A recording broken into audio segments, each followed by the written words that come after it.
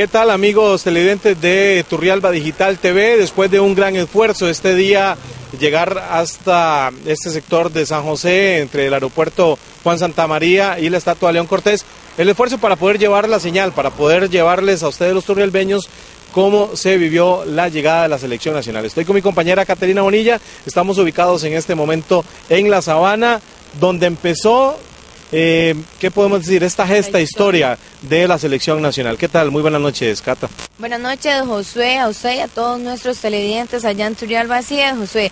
El nuevo Estadio Nacional, el cual albergó todas esas victorias que obtuvo nuestra selección nacional, que al principio de esta hexagonal pues le costó, ¿verdad? La primera parte, luego vino, perdón, la primera eliminatoria le costó un poco, donde tuvo una derrota contra eh, la selección de México acá en este estadio, pero sin dudar alguna, la última fase pues logró clasificarse antes de dos fechas a lo que fue la Copa del Mundo Brasil 2014 y este estadio fue cómplice también de la de lo invictos que somos nosotros como locales.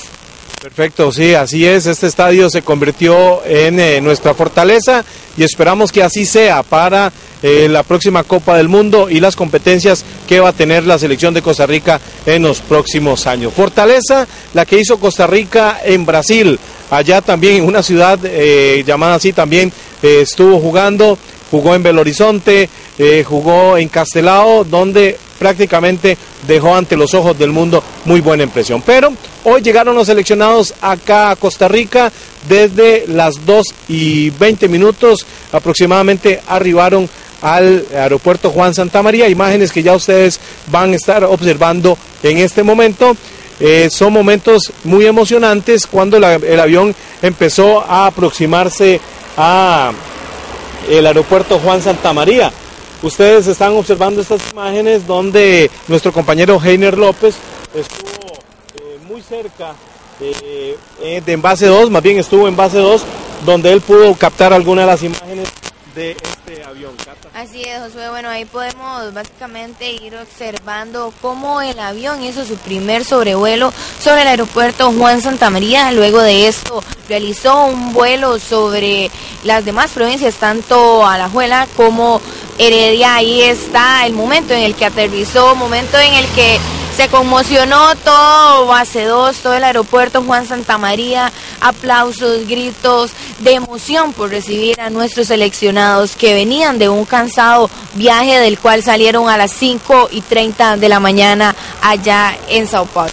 Ese momento es cuando Keylor eh, Navas. Brian Ruiz eh, Keylor con la camisa de la selección, al revés, Brian con la camisa de la selección y Keylor con la bandera de Costa Rica, uno en cada lado de las ventanas del avión cuando yo lograron aterrizar y ver esos niños que los esperaban y está como el bautizo que les realizaron los bomberos del sector del aeropuerto esos son momentos bastante emocionantes al momento de que se hacía este bautizo, imágenes que ustedes están observando y también inmediatamente vamos a observar el momento en que hacía eh, pues bajaban por las escaleras los eh, seleccionados. El primero que lo hizo después de que bajaron federativos, eh, aficionados que venían en ese mismo vuelo, esposas, el primero que lo hizo fue Jorge Luis Pinto, tal y como lo vemos en estas imágenes, y tomó un momento y dijo, este triunfo es de ustedes. Para los televidentes habían bastantes niños de escuelas aledañas a lo que es el aeropuerto y él tomó un momento de su salida y les dijo a los niños y a todos los que estábamos ahí presentes, todos los costarricenses, esto es de ustedes, señalándolos a cada uno de los que estábamos ahí presentes.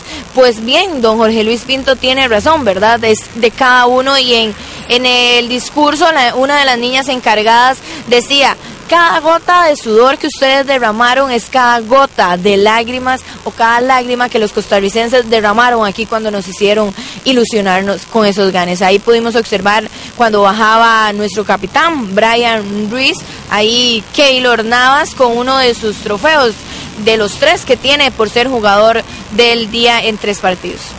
Así es, bueno, después las imágenes cuando estaban en la tarima especial que se realizó en base 2 para que fuera recibido por el presidente de la República, el señor Luis Guillermo Solís, y todo su gabinete estaba ahí presente, el momento de entonar el himno nacional y eh, algo que me llamó mucho la atención es que Jorge Luis Pinto se sabe el himno nacional de Costa Rica, lo canta, lo vive, lo siente y hasta algunas lágrimas también se le vienen a Jorge Luis Pinto al momento de entonar este himno.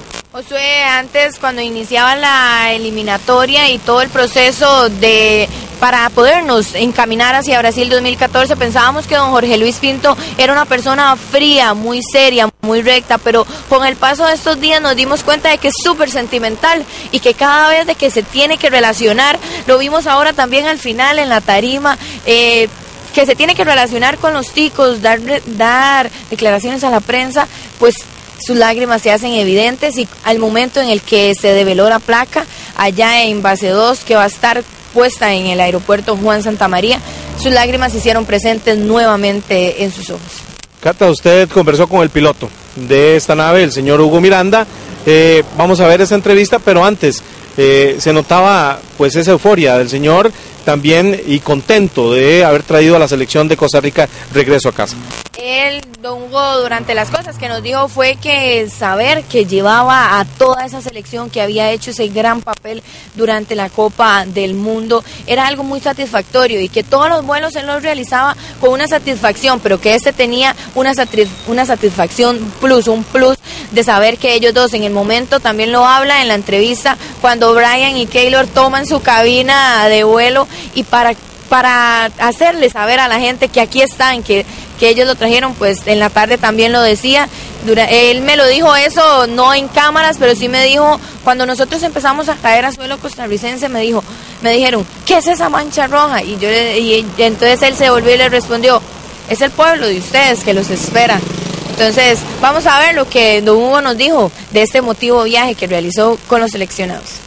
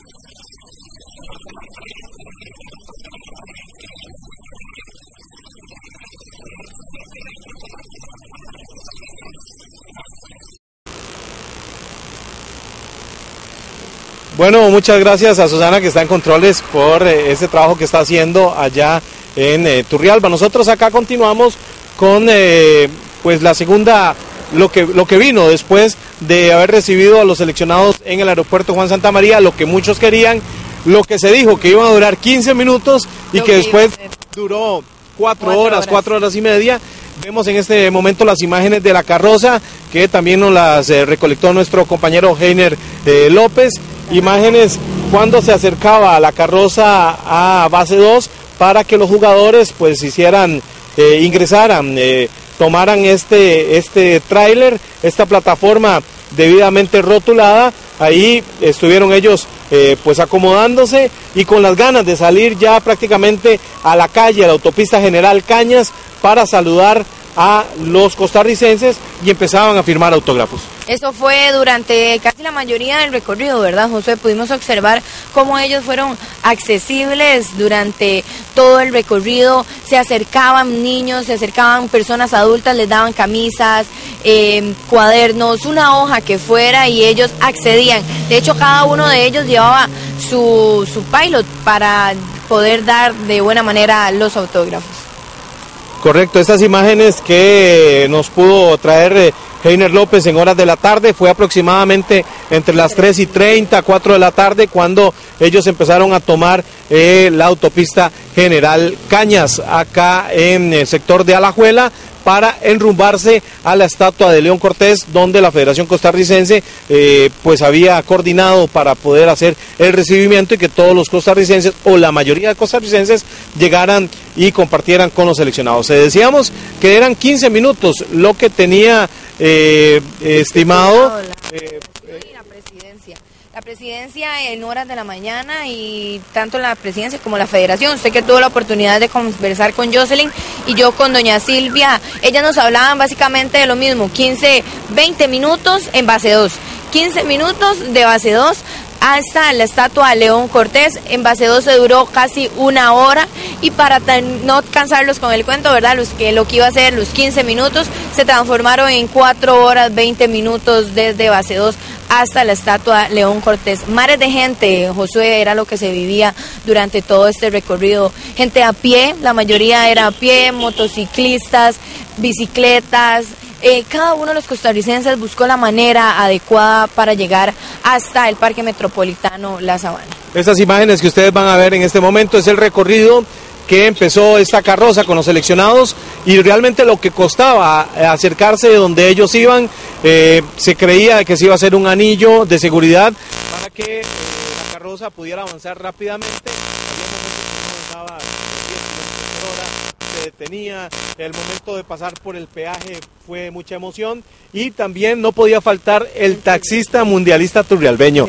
Eh, decidió venirse acá, estas imágenes que ustedes observan también de nuestros compañeros, tanto Karen Alvarado como Heiner López y algunos otros aficionados que eh, en cualquier tipo de vehículo, en plataformas, en, vehículos eh, ganaderos, en vehículos en pick-up, en bucetas, en, bueno, eh, cualquier vehículo era adecuado. Así, Josué, no estuvieran organizados las bucetas en los camiones que pasaran con sus carretas vacías, la gente se subía en ellos, los abordaba y pues bueno, los choferes accedían, ¿verdad? Pudimos ver varios choferes que trasladaban materiales de construcción que iban vacíos y ahí subieron a la mayoría de aficionados para seguir un camino hacia la sabana, que al final se tornó un poco complicado, ¿verdad, Josué? El ingreso aquí en la esquina, se puede decir, de la Nizam hacia la estatua de León Cortés, porque se cerró, se, ya llegó un momento en que la fuerza pública y tránsito no pudo dejar ingresar